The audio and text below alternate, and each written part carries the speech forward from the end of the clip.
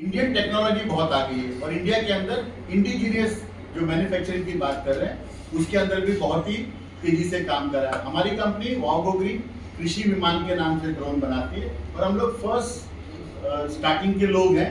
हमारा यूनिट फरीदाबाद में है और एक बैटरी का यूनिट हमारा नोएडा में है। आप जैसे फ्यूचर में कभी किसी को ड्रोन में इंटरेस्ट हो क्योंकि इसके अंदर नौकरी की जॉब की बिज़नेस की काफ़ी सारी अपॉर्चुनिटीज़ हैं। तो anyone would like to associate with us you are more than welcome to visit us and we will we will take you there ये मैं भारतीय विद्या भवन केजी मार्ग पे बैठता हूँ। यहाँ पे हमारा एक ड्रोन सेंटर है।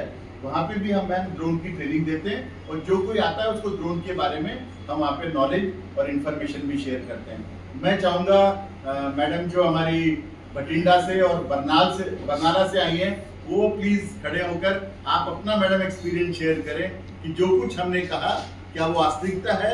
या आपका क्या कहना है कि आपको आगे कैसा लगता है? मैं चाहता हूँ आज ये बठिंडा से और बरनाला से चल के आई है इनके लिए जोरदार तालियों से जो है इनका हम स्वागत करें।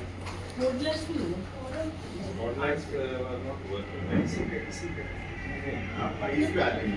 मैं मेरी तरफ़ से सबको सत श्री अकाल बोलूँगी। तो मैं बठिंडा से हूँ। ये बठिंडा के गाँव है दयालपुरा वहाँ से मैं आई हूँ।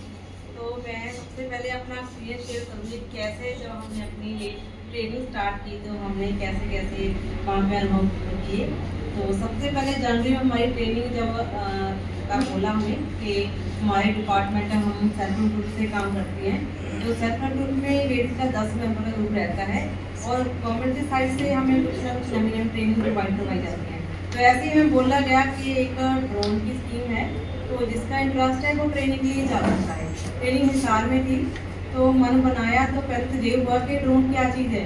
ये कैमरा वाला वो ड्रोन और कैसे होगा तो मन में काफ़ी कुछ सोच के हमने ट्रेनिंग का सोचा।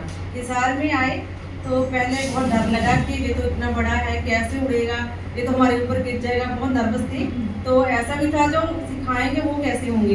कैसे हमें डांटेंगे, कैसे होगा? क्योंकि हम हमारे गाँव में ऐसा रहता है कि हम लोग एक तो पंजाब से बाहर आके ट्रेनिंग लेना ही बड़ी बात लगती है कि हम कभी बाहर नहीं निकले और दूसरा लैंग्वेज का प्रॉब्लम हो जाता है। क्योंकि हम लोग पंजाबी बोलते हैं और वहाँ पे हिंदी थोड़ा प्रॉब्लम रहती है। बट वहाँ पे आके ऐसा कुछ नहीं हुआ।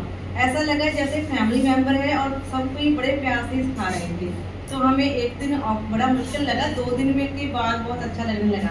तो इंजॉय करने लगे। तो हमने अप्लाई किया प्रैक्टिकल किया थ्योरी करवाई गई।